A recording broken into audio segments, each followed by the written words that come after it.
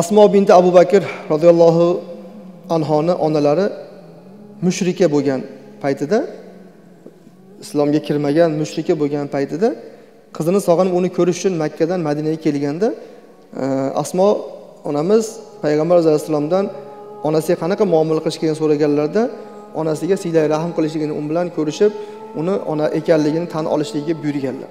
U mushrik dinsiz din dushmani bo'lib turgan onaga ham onaligini tan olib farzandlik burchini ado qilishlikka buyurganlar.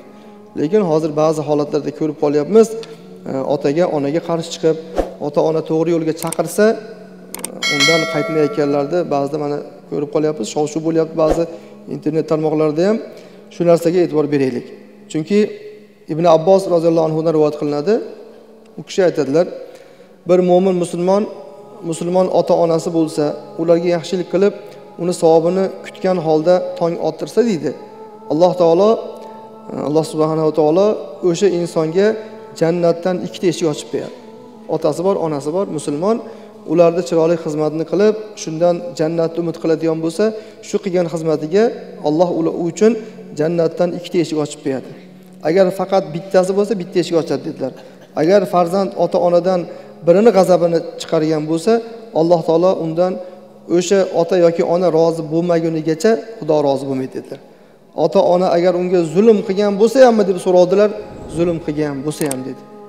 Ba'zida shunaqa bo'lib qoladida otam onam zulm qilyapti deb turib otaga qarshi boradigan bolalar bo'lib qoladi shularga tegishli bu.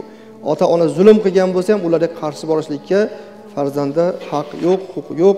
Demak farzandlik chiroyli holatda. Chunki otani onani roziligi allohni roziligi bilan tenglashtirilgan. Shu narsada demak yoshlarimizga chiroyli ta'lim beraylik tarbiya beraylik. Ular yo'ldan adashmasin ota onalar chiroyli xizmatlarni qilishsin. Duo qilaylik omin alloh subhanahu va taolo barchamizga tavfiq bersin. Ota onamiz borlarda chiroyli xizmatni qilib duosini olishni nasib aylasin. Ota onasi o'tganlarda alloh rahmat aylasin. Bu aytilingan mav'izaga amal qilishlikka tavfiq bersin. Boshlangan ramazon oyini butun dunyo musulmonlariga jumladan bizni yurtimizdagi musulmonlarga xususan bu masjidimizdagi jamoatimizga barakotli qilsin bundan chiroyli foydalanib chiroyli o'tkazishni nasib qilsin. Va rahmatga arhamar rohimin